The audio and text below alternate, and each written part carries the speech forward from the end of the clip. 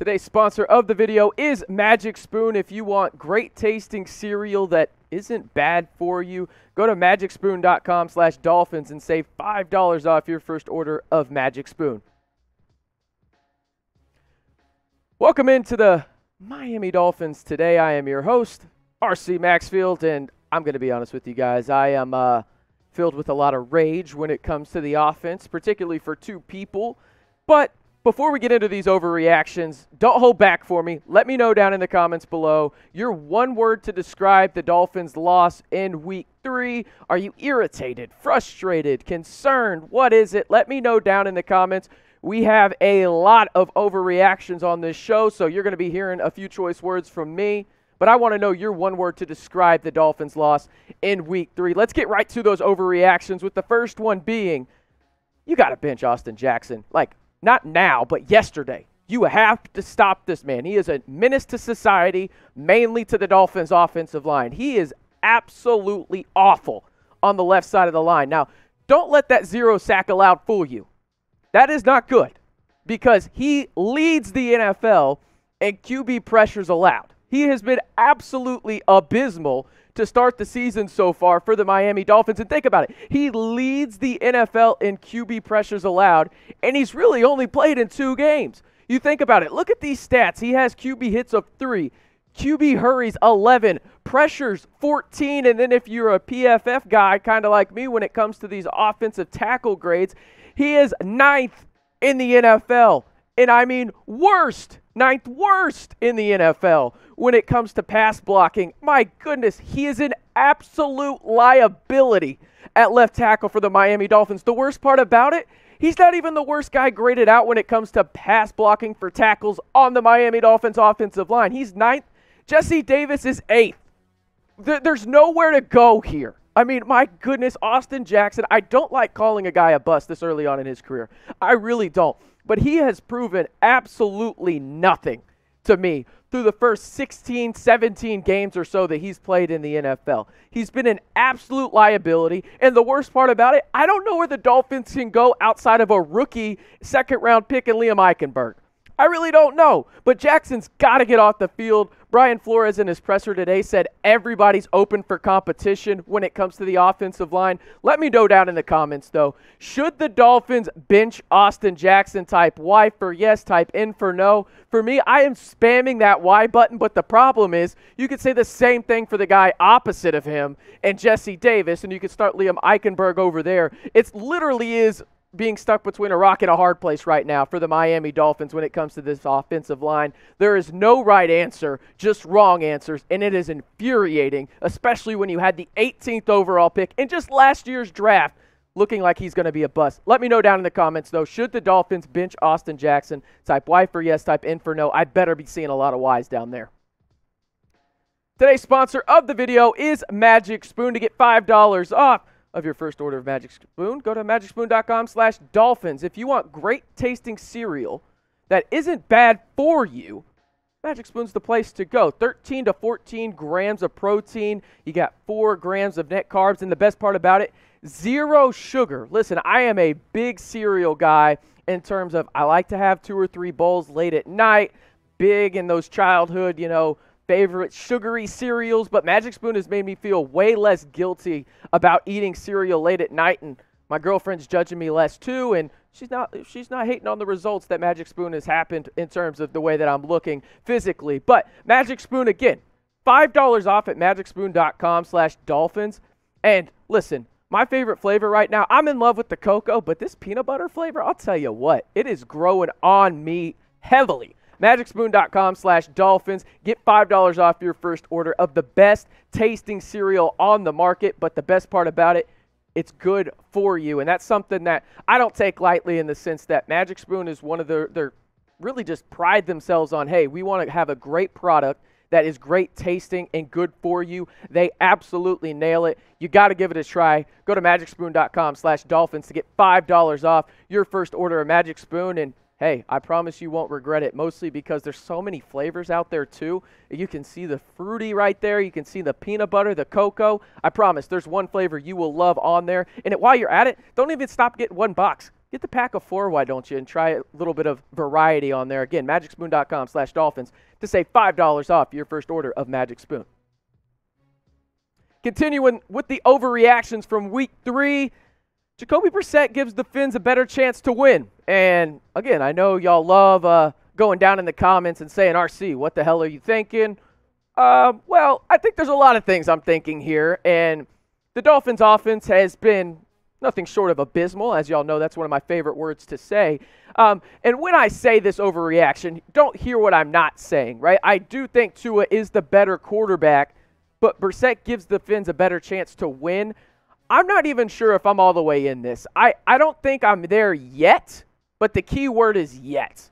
Because what I saw yesterday was Jacoby Brissett throwing balls that I don't know if Tua Tagovailoa can make those throws. The main one that I'm thinking about, actually two, is that deep pass to Will Fuller that was blatant PI on Mullens in the end zone. And then you had that absolute dot to Mike Gesicki on fourth down to prolong the game where he was on the run, manipulating the pocket, stepping up, going to his left, had a, to do a jump throw, threw it over a Raiders defender right to the sideline to Mike Gesicki to prolong the game and get it to overtime.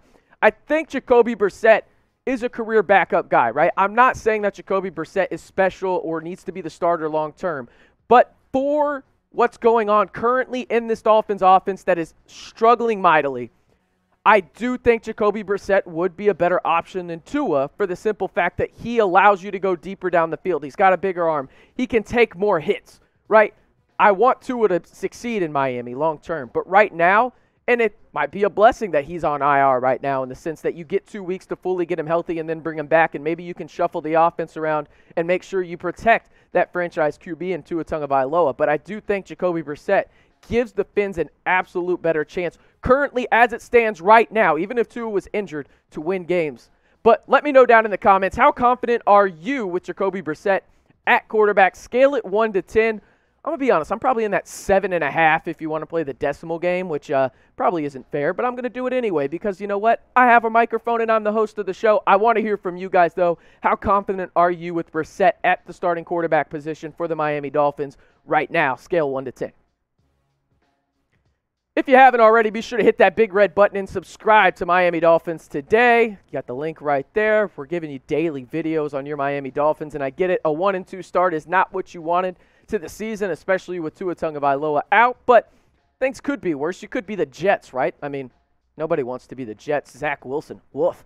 My goodness, can't wait for that game. The deep, Xavier Howard might get 10 interceptions in that game alone. I mean, my goodness. And we'll keep you updated on the Dolphins all season long, better or worse. We're bringing you the latest news and rumors right here on Miami Dolphins today. All you got to do is hit that big red button. The next overreaction I have is uh, Godsey and Studesville's got to go. They, got to go. I mean, I'm, I'm done with it at this point. This offense is just atrocious. Um, it's abysmal. I think the thing that really threw me off the most and just really wanted me to throw a chair through the TV how the hell do you call a quick screen in your own end zone? Like, what logic goes behind that? With one of the worst offensive lines in football, a backup quarterback on the road, and you decide to throw a quick screen in the end zone, what the hell are you doing? Like, there, there's no justifying that. And there's no justifying these numbers for the Dolphins offense through the first three weeks of the season. They've been nothing short of abysmal. You look at this, this is third worst in the league when it comes to points per game, in the similar range for passing yards per game. Myles Gaskin can't get going because the offensive line is so dreadful, and then you only have four total touchdowns on the season. You're bad. And it's mostly because of Godsey and Studesville, how they just can't adjust. They're just not offensive coordinators. And the worst part about this is, in my opinion, the offense just doesn't have an identity. Simple and plain. What is this team? Is it a pass first team? Is it a running team? What is it? You tell me. I, I can tell you what I think it is after the first three weeks. That's a three and out team. I mean, that's what they've done all year long so far, and they just can't seem to sustain drives long term, except for what they did yesterday in the late part of the fourth quarter and into overtime. Outside of that, they're awful. They were awful. And Las Vegas looked like they had a competent defense, which is saying something outside of a few players on Maxx Crosby and maybe Mullens in their secondary. You have to find an identity, and I just don't know if Godsey or Studesville will find that for you right now because you need it right now. The Dolphins are a win now team, and your offense is the thing holding you back, specifically the play calling and the offensive line. But who do you blame in this situation if you're a Dolphins fan? Let me know down in the comments below. Type ES for Eric Studesville. If you're blaming Brian Flores, type BF. If you're uh, blaming, looks like Egg George there. My goodness, looks like he should be Humpty Dumpty on a wall right there. George Godsey, type GG. If you have somebody else to blame, type O down in the comments. For me, it's hard not to blame Brian Flores right now just because there's got to be an adjustment from the head man himself, and he just hasn't made that, whether that's with the play caller and just going in there and saying, hey, you're going to be the main guy. This is what we need to do. He hasn't made that. So if you ask me, I'm probably typing BF down in the comments, but I want to hear from you guys. Who are you blaming for the stagnant and just pitiful Dolphins offense through the first three games of the season? Last overreaction I got is Mike Gesicki is better off with Jacoby Brissett at quarterback. And listen, I think we have to throw week two out the window, right, when it comes down to it. The offense for the Dolphins was just terrible. You lose Tua on the second drive of the game. You're trying to figure everything out, and the Bills play, had a hell of a game plan. But you look at what Mike Gesicki did yesterday. He had 12 targets, 10 receptions, 86 yards. Crazy part about it is he didn't lead the team in receptions. That was Jaylen Waddle.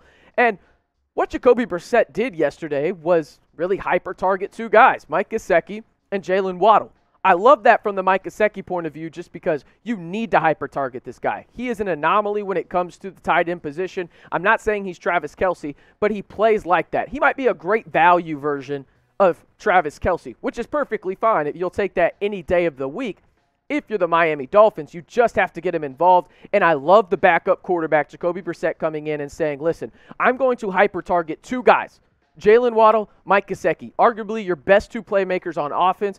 And it worked for the most part in the sense that you left their defense on the field a little bit too long, and the first three quarters were bad, but those last couple drives in the fourth quarter and overtime looked like a completely different offense because you were in the hurry up scheme, and that's where Mike Gesicki did a lot of his damage. So I might agree that Mike Gesicki is better off with Brissett, but the real reason I'm going to do that is just because of the current O line issues, right? You think about the O line, I just mentioned it earlier. You have two of the you have the worst tackle combination in the NFL right now when it comes to pass blocking if you go to PFF. Let that sink in. I think it's something we know just watching the games, right? The tackles are bad. I think Jacoby Brissett is better for Mike Gesicki right now just because of those offensive line problems and what they present, right? You want a bigger quarterback there that can manipulate the pocket, isn't afraid to chunk it downfield on the 50 50 balls. And I'm not saying Tua won't do that, but I think Joby, Jacoby Brissett is in a better position to help propel Mike Gesicki back into that realm that we saw him have last year in terms of the breakout on the offensive side of the football for the Miami Dolphins. But type back him up for me. If you uh, type uh, MG, if you think Mike Gesicki is back on track. I'm going to be honest with you. I do think he's back on track because I do think that they found some things late in that game, but it is infuriating that it took them that long into the season to figure something out. And maybe it was just because they were trying to get back in the game and overtime they felt a little bit more risky since they were on the road. Godsey and Studesville have to get better at the coordinator's position. If they don't, they need to go. And I'm going to be honest, after the first three weeks of the season, I see no reason to keep them those are my two biggest overreactions. The offensive coordinators have to change, and Austin Jackson and Jesse Davis have to be benched. You got to find something, at least bench one of them, because right now the coordinators and the offensive line are holding the Miami Dolphins offense and the whole team back severely.